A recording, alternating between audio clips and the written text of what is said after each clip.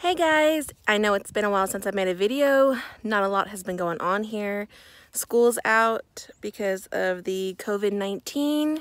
So, um, I'm doing nothing but sitting at the house. I've cleaned and cleaned and cleaned. My house is clean.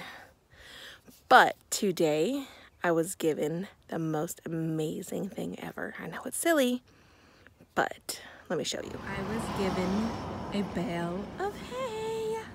Yes, I emphasized on the hay. Um, the kids have been bringing home boxes because they are still working. So I'm going to take off all of the tape that's on there, if there is any tape, and I'm going to lay down our garden. We attempted, well, my landlord attempted to till it, but he said it's super, super thick. It's beautiful dark soil. He said, but it's like clay soil. And we he even tried tilling it after two weeks of no rain.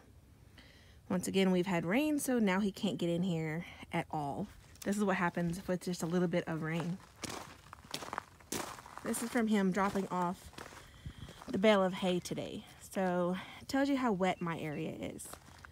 The only thing I can do now is either do raised garden beds, which I don't have the lumber for, or do this no-till garden and build it up. So that's what I'm going to do today. I'm going to rake out some of these areas where the bumps are, like way back there, and I'm going to try to flatten it back out, and then I'm going to put my cardboard on there and start putting hay on there. Let it break down and build up, and I'll have a no-till garden. I'll be able to garden, go ahead and garden this year after all, because right now it's too wet.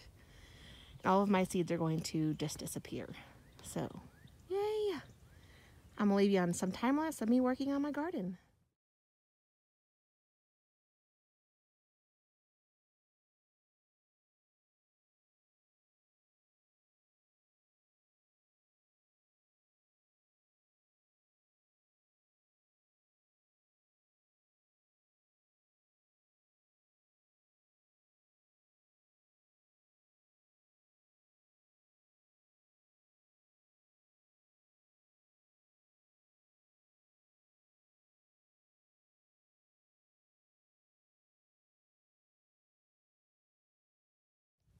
As you can tell, I did not have enough cardboard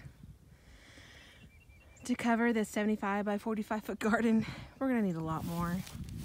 This is what the kids are bringing home when they get done from work. Look how muddy it is. Ugh. And that is why I have to do a no-till garden. I have to build up the ground where I am in order to make it a sustaining garden for years and years to come. And now, to put the hay on it.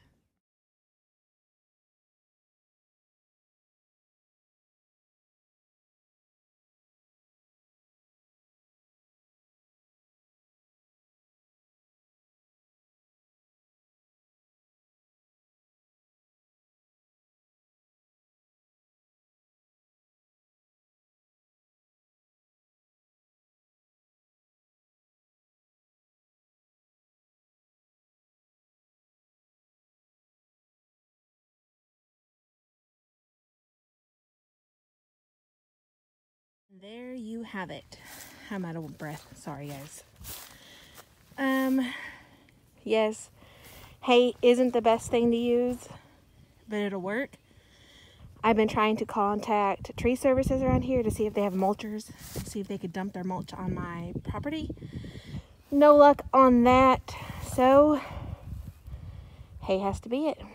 Every year, we'll just keep adding more and more cardboard, newspapers, um, shavings, goat poop, cow poo on here, and just make it this rich, awesome ground for me to grow on every single year. Eventually, this garden is going to expand this way to the bricks. So it'll probably, by the time I'm done, it may be 100 by 100. I'm not for sure. I don't know yet.